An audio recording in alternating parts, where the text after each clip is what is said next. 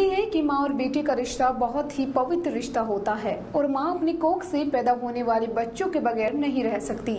मगर यूपी के जनपद मुजफ्फरनगर, रामपुरी की रहने वाली प्रीति दो साल के बेटी को छोड़कर रात के अंधेरे में हो गई घर से फरार।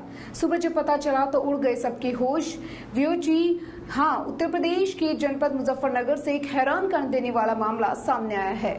जय विवाहिता महिला अपने दो साल के मासूम को छोड़कर रात के अंधेरे में किसी अज्ञात व्यक्ति के साथ फरार हो गई और वहीं इस दौरान दो साल के मासूम का अपनी माँ के वियोग में रो रो कर बुरा हाल है।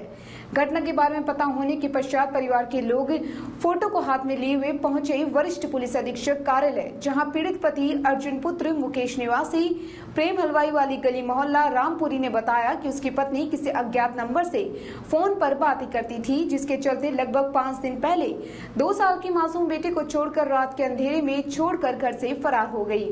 पीड़ित परिवार जिसकी तलाश में दर दर की ठोकरें खाने को मजबूर है, वही अर्जुन का कहना है कि अभी भी जहाँ कहीं भी हो, कुशल अपने घर वापस लौट आए। साथ ही तलाश करने के लिए पुलिस प्रशासन की भी मदद की गुहार लगाई।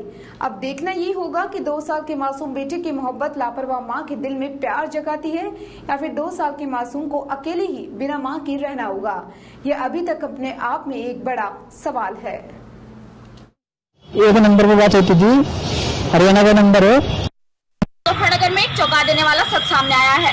जी हाँ हम बात कर रहे हैं यूपी के जनपद मुजफ्फरनगर की, जहाँ शहर कोतवाली क्षेत्र के मोहल्ला रामपुरी में बीते दिनों एक विवाहिता अपने दो वर्ष के मासूम बच्चे को छोड़कर रात के अंधेरे में फरार हो गई। घटना की जानकारी पीड़ित परिजनों को लगी तो उन्होंने विवाहिता को ढूँढने का पूरा प्रयास किया, पर सफलता हाथ न लगने पर पीड़ित परिजनों ने एसएसपी कार्यालय पर पहुंचकर मदद की गुहार लगाई है।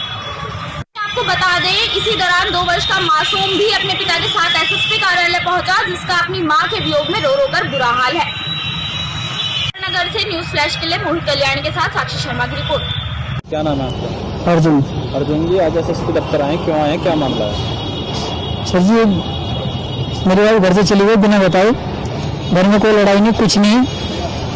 आज तक किसी को कुछ नहीं कहा ना मारा ना छोटा चार साल में भी शादी को हो गए कुछ भी नहीं लेकिन ऐसा क्यों किया? मेरे को कुछ समझ नहीं आ रहा है लेकिन मेरे को सब उनके घर पे लग रहा है।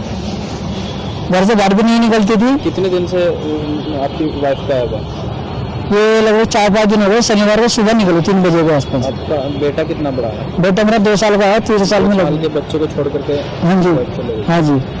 बताया जा रहा है कि एक नंबर भी जो हाँ जी इस नंबर पर बात होती थी हरियाणा का नंबर है एक नंबर पर बात होती थी। हरियाणा का नंबर है। लेकिन ट्यूबवेल पे डाल के देखा तो नंबर हरियाणा का ही बता रहा है और पानीपत और करनाल के बीच के बता रहा है। मेरी तो वाइफ आपको क्या शक लग रहा है? सब मेरे को लग रहा है सर इसी नंबर से बात हुई और इसी नंबर के किसी घर को की साजिश है इसी नंबर के थ्रू उसको बुलाया। तो क्या चाहते हो आप? वो चाहते हैं सर बस। अपने घर पे आ जाओ जो जैसे भी ठीक ठाक आ जाओ ऐसे कोई तकलीफ़ नहीं होगा। बच्चा वगैरह अगर बुरा हाल है बच्चे का बच्चे की वजह से इतना वो कर रहे हैं सर माँ के बिना बच्चा माँ के